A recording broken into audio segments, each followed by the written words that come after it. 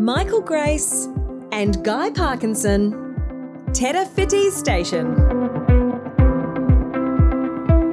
Terawhiti Station has a colourful history and has managed to adapt, survive, and ultimately thrive to a point where it's achieving more than simply financial prosperity. The original block was purchased in 1843, with Irishman James McMenamin taking it over four years later. Today, the station is 4,808 hectares in size and is still owned and farmed by his descendants.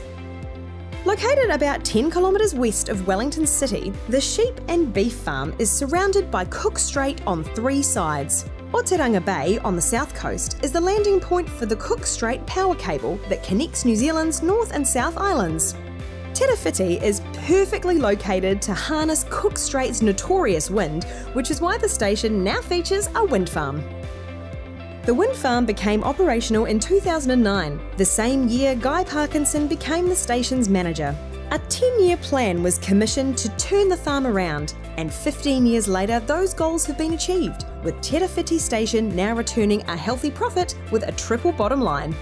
Using a low input system that prioritises animal welfare, they run just over 1,300 Angus cattle, along with about 1,800 Wiltshire sheep. In addition to the wind farm, the non grazed areas are used for carbon credits, Manuka honey production, rentals, and tourism.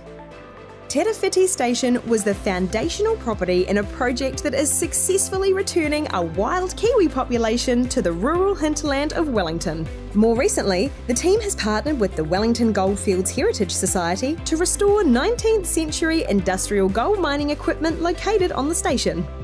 Continuing their future focus, this team has acquired and developed a finishing farm in Linton that will further boost profitability, reduce their carbon footprint by being able to finish stock more quickly, and free up space for more conservation projects.